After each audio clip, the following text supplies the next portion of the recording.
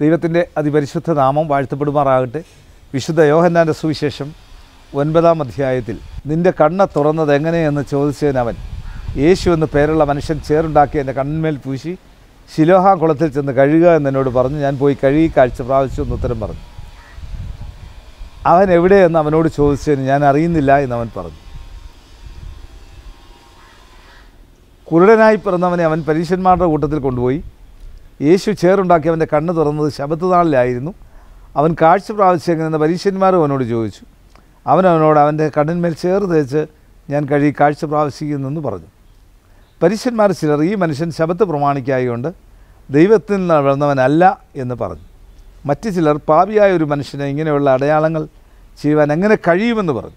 അങ്ങനെ അവരുടെ ഇടയിൽ ഒരു ഭിന്നതയുണ്ടായി. അവർ പിന്നെയും കുരുടനോട് നിന്റെ കണ്ണ് തുറന്നുകൊണ്ട് നീ അവനെക്കുറിച്ച് എന്ത് പറയുന്നതെന്ന് ചോദിച്ചതിന് ഒരു പ്രവാചകൻ എന്നവൻ അവൻ പറഞ്ഞു കാഴ്ച പ്രാപിച്ചതിന് അപ്പമ്മപ്പാരെ വിളിച്ച് ചോദിക്കുമ്പോൾ അവൻ കുരുടനായിരുന്നുവെന്നും കാഴ്ച പ്രാപിച്ചു യഹൂദന്മാർ വിശ്വസിച്ചില്ല.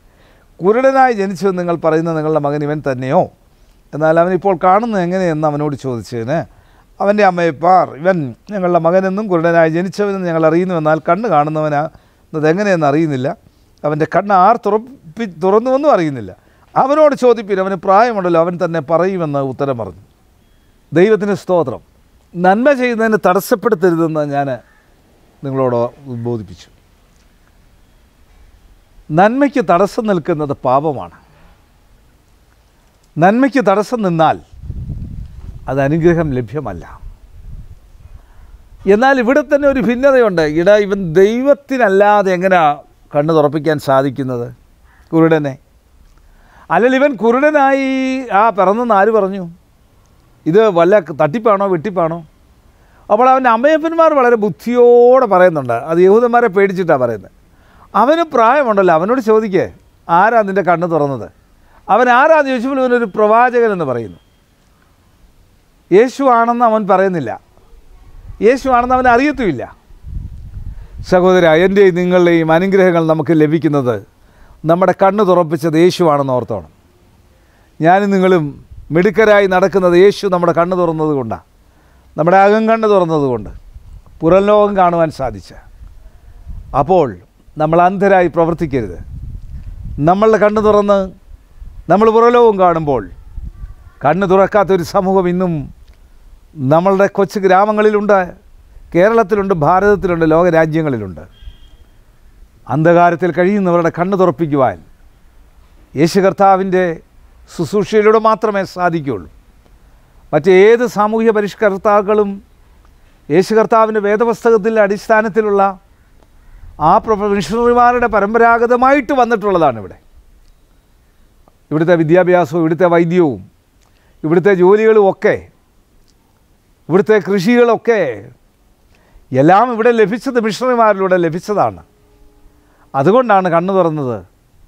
അപ്പോൾ നമ്മൾ കണ്ണു തുറക്കുമ്പോൾ ഇനിയും ധാരാളം പേരുടെ കണ്ണ് തുറപ്പിക്കേണ്ടിയിരിക്കുന്നു. നമ്മൾ കണ്ണടയ്ക്കരുതേ. അവരുടെ നേരെ കണ്ണടയ്ക്കരുതേ. അവരെ കണ്ടില്ല കേട്ടില്ല എന്ന് നടിക്കരുതേ. അവരെ കണ്ണാടാതെ പോകരുതേ എന്ന് ഞാൻ ഓർപ്പിക്കുകയാണ്. കണ്ണ് തുറന്നവനെപ്പറ്റി ഭിന്നതയുണ്ടാകുമ്പോൾ കണ്ണ് തുറന്നതിന് നന്മയാണെന്ന് പറയുവാനായിട്ട് സാധിക്കുന്ന ഒരനുഭവം ഉണ്ടാകണം. കണ്ണ് തുറന്നത് നന്മയാണെന്ന് ലോകത്തിന്റെ കണ്ണ് തുറപ്പിക്കുന്നവരായിരിക്കണം നമ്മൾ. കണ്ണുകടയ്ക്കാൻ പ്രാർത്ഥിക്കാം. കർത്താവെ പരിശുദ്ധ പിതാവേ ലോകമെമ്പാടും അന്ധകാരത്തിൽ കഴിയുമ്പോൾ ലോകത്തിന്റെ കണ്ണ് തുറപ്പിക്കുവാൻ ഞങ്ങളാവോളം പ്രവർത്തിക്കുവാനായിട്ട് ഞങ്ങളെ സഹായിക്കണമേ. ഞങ്ങളുടെ മുഖ്യമന്ത്രി ഗവർണർ പ്രധാനമന്ത്രി ലോകരാജ്യങ്ങളുടെ പ്രസിഡന്റുമാർ പ്രധാനമന്ത്രിമാർ വിവിധ സംസ്ഥാനങ്ങളിലെ മുഖ്യമന്ത്രിമാർ എം പിമാർ എം എൽ എമാർ W H O health department revenue department police department അർത്ഥ ഗവൺമെന്റ് സ്ഥാപനങ്ങൾ ആശുപത്രികൾ ഡോക്ടേഴ്സ് നേഴ്സസ് മറ്റ് സ്റ്റാഫുകൾ മരുന്നുകൾ മരുന്ന് കമ്പനിക്കാർ മരുന്ന് കച്ചവടക്കാർ മരുന്ന് വിതരണക്കാർ ആംബുലൻസ് സർവീസ് വഴിയോര കച്ചവടക്കാർ ഓർഫനേജുകളിലും ജയിലുകളിലും കഴിയുന്നവർ സ്കൂളുകൾ കോളേജുകൾ അധ്യാപകർ അനധ്യാപകർ പ്രഥമ അധ്യാപകർ. ലോകത്തിന്റെ വിവിധ രാജ്യങ്ങളിൽ വിവിധ ചുമതലകൾ വഹിക്കുന്നവർ ജഡ്ജിമാർ അഡ്വക്കേറ്റ്സ് വിവിധ തരത്തിൽ പ്രവർത്തിക്കുന്നവർ. അന്ധരായിട്ടുള്ള എല്ലാം പ്രിയപ്പെട്ടവർക്കായി പ്രാർത്ഥിക്കുന്നു. അന്ധരായവരുടെ കണ്ണു തുറപ്പിക്കുവാൻ ലോകത്തിന്റെ ഗതിഗതികളെ ശരിയായി മനസ്സിലാക്കാൻ വയ്യാത്തവരെ അവരുടെ കണ്ണു തുറപ്പിക്കുവാൻ ചെയ്യുന്ന എല്ലാ ആത്മീയ സാമൂഹിക പ്രവർത്തനങ്ങളിലും ദൈവത്തിന്റെ സാന്നിധ്യം ഉണ്ടായിരിക്കണമെന്ന് പ്രാർത്ഥിക്കുന്നു. ഈ വചനം കാണുന്ന കേൾക്കുന്ന എല്ലാ പ്രിയപ്പെട്ടവർക്കും അവരുടെ ഭവനങ്ങൾക്കും ഒരു വെളിച്ചം ഉണ്ടാകട്ടെ. അത്ഭുത വെളിച്ചം കൊടുക്കട്ടെ. നിന്റെ മക്കൾക്ക് ഇന്നത്തെ ദിവസം വെളിച്ചത്തിന്റെ ദിനമായി തീരട്ടെ. ശക്തി നൽകട്ടെ. യേശുവെ നന്ദി. യേശുവെ സ്തോത്ര. യേശുവെ ആരാധന. യേശുവെ മഹത്വം. യേശു മൂലം പ്രാർത്ഥന കേൾക്കണം നല്ല പിതാവേ. ആമീൻ. God bless you.